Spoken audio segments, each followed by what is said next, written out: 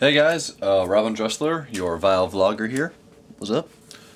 Uh, with my first ever toy review. Uh, I have a lot of toys, a lot of Transformers, in fact. And I decided that, hey, I should do reviews of these guys because, you know, the, these, this guy in particular, these guys were part of my childhood. You know, I, I grew up with Transformers. Um, it's always kind of been my, uh, it's always kind of been one of those things that I've just always loved always like people know me know I want to write comic books in the future, and I would love to steal the uh, the rights to do the Transformers comics from IDW. Who, by the way, does a great job. I, I love IDW's comics, but uh, get the right the the rights to write my own Transformers comics, but um, that would technically be running the Asylum. Uh, so yeah, I got to review the toys. Yeah. Yeah, sorry about this. I, I just actually did a, a full review. It was great. I looked at my camera. The record light was not on. I did a whole review without recording it.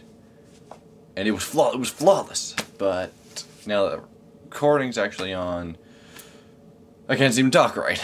but yeah, Masterpiece, Optimus Prime, pretty much the crown jewel of my of my collection because you know, Optimus Prime is one of my heroes. As, as lame and nerdy and, you know, that little factoid alone is never gonna get me laid. But, um, Prime, Prime is my hero. He's been my hero for a long time. Um, and I guess the reason why is just because, well, he was Optimus Prime. You know, what more can you say? He's, you know, leader of the Autobots. He's sacrificed himself in combat numerous times uh, to save the universe. Uh, yeah, he's, he's Optimus freaking Prime. Um, yeah. So let's get down to the toy, but we have a few accessories to go over first.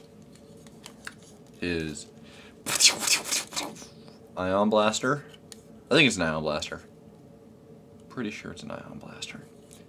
Um, which fits in his hand pretty nicely. I'll, I'll, I'll show you what I mean later. And I don't know if that's light piping in there or if that's just really reflective green plastic. Either way, it does look very nice. This thing is extremely show accurate.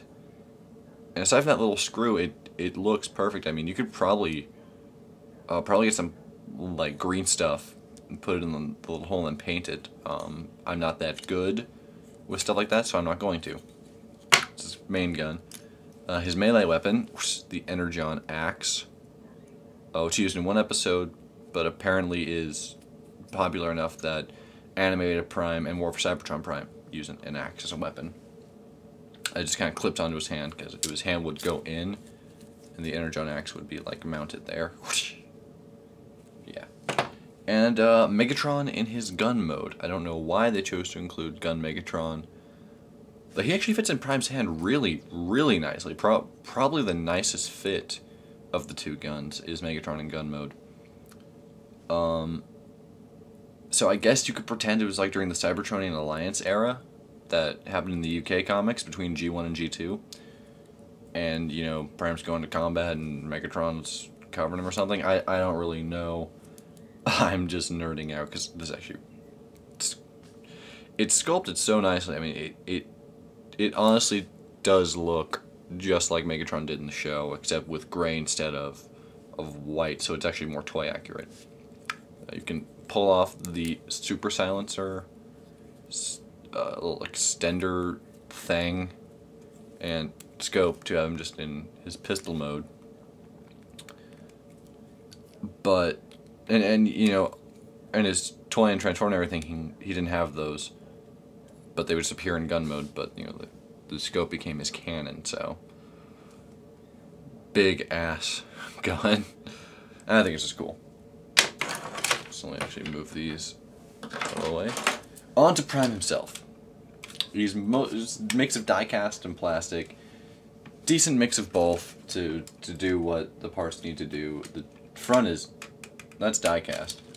It just look he moves. He rolls so smoothly. Like let me show you.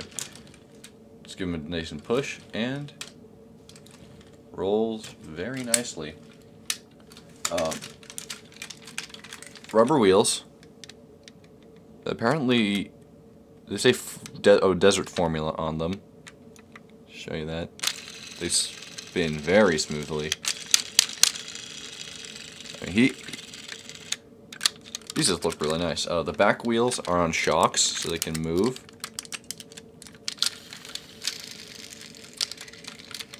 Uh, he actually has little little sticker lights. Deet, deet, deet. That was lame. Um, yeah, there's actually I don't think any kibble on this figure. Uh, it's it's done. It's just so great. There's like almost zero kibble on him. Uh, inside there, if, if I can show you, just kind of open him up, there is what appears to be a seat, which uh, is pretty much really just there to hide his head. His head's right behind that seat. But I I like how they kind of put it in like in a seat and then kind of fogged over these, so you don't really see the the innards. Because uh, this this toy is so well built.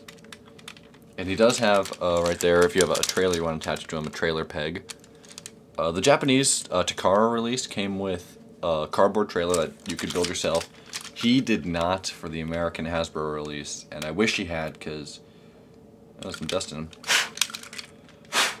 Clear out the dust. Because I would have loved that, just like pull a trailer around. But um, I think you can connect uh, Power Master's trailer to him, Power Master Prime's trailer, and possibly even Armada Prime. I haven't tested that one out. I'm gonna have to to see uh, if you can or not. He he looks really good. Um, these are little springlies, smokestacks, kind of spring forward and pop back. And, to me, it seems like an uh, a homage, homage. I think it's homage. I, I don't know. My pronunciation is terrible to G to G two because um, they like flip forward and kind of to me resemble machine guns or some kind of weapon. So it's like G2's heavy, heavy you know, gun-toting thing. Prime, Prime had like two Uzis in that. It was great. I, I liked G2. But, uh, yeah. Prime in vehicle mode looks just so nice. The front is... The joints are a little loose right there, so parts will kind of pop up like that.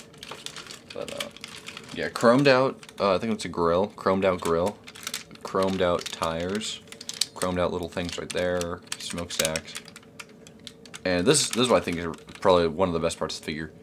That's a sculpt, that's not painted or sticker, that's a sculpted Autobot symbol. That just looks great. Yeah, I love this figure. Let's transform him, shall we? Okay, so to start off with the transformation, you're to want to take these little things and flip